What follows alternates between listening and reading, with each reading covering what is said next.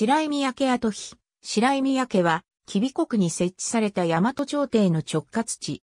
日本書紀巻第19によれば、555年、金明天皇の時代に、蘇我大臣、稲目、穂積岩尾弓神らを派遣して、吉備の5つの軍に設置された、とある。569年には、田辺を置いてから14年が経ち、一定年齢に達しても、席から漏れ、蚊を免れるものが多かったという。そのため、白井田辺、白井の旅の日のとの席を定むべしという目的で、王達治の老いの単津が派遣された。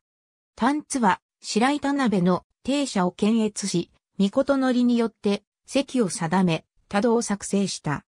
単津は、この定席の項により、白井、白井の死と地に、小島郡に置かれた宮家の伝領である、桂木の山田忠水子の服となった、という。さらに、初期末期、第20によると、574年の美達天皇の時代に大臣、蘇我馬子が使わされて、白井宮家と田辺が増益され、田辺の名跡が白井文丹津に授けられた、ともある。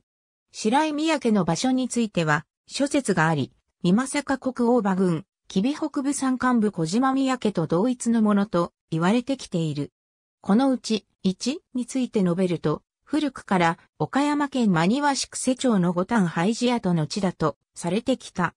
俗日本記巻第27巻第29に美政国大場郡の人である白井新大鷲がそれぞれ大場神の姓を賜ったとあるからである。大場郡は真庭郡の南部で廃寺跡がその地域に収まるからである。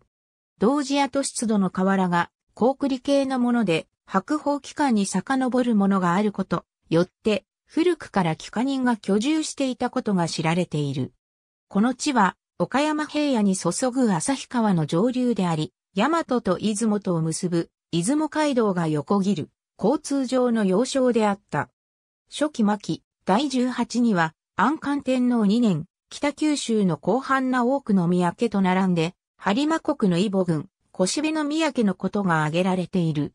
同じ記事を載せる、播磨国風土記によると、安漢天皇の長人である、田島君オズが姓を賜り、王子大君となった。彼が宮家をこの地に設置し、故に、小城の村と言った。後に、上野大部によって30個を結んだ時に、小芝野の里と改名された、とある、小芝宮家は、現在の兵庫県辰野市新宮町小芝野に否定されており、谷岡武雄は、この地に、中世の大徳寺領播磨、小卓症状房壺符図により、特殊条理のあることを指摘している。さらに、この地は、両性の馬屋の置かれていたところであるが、美作の津山盆地へ向かう津山路が、姫路市の草上駅で、街道沿いに、西へ進む山陽道と分かれて、最初の駅である。美作路はさらに、兵庫県佐用郡佐用町に推定される中川駅を通り、杉坂峠を越えて、美作国に入り、津山市の総社あたりと推定される美作国府へと至るのだが、美作国府から出雲へ向かう出雲街道上に白井宮家が存在するのである。白井宮家は小島宮家と共に吉備国像の支配していた地帯を南北に挟む形で設置されている。これは、大和政権が有略天皇末期に吉備勢力の反抗を制圧し、慶太天皇の末期に筑紫国像の反乱を打破して、吉備国南北に直轄地を置き、吉備王権を孤立化し、制圧してゆく様を伺わせる。同時に、蘇我氏が主導する、金明天皇時代の政治において、律令制的な農民支配の先駆が見られるとも言える。中国北朝の近伝性が高栗を通じて伝来した可能性も考えられる。金明天皇31年4月2日には、高麗の施設が越国に漂流し、美達天皇の時代にかけて交渉を開始したという記述が日本初期末期、第19、末期、第20にかけて存在する。ありがとうございます。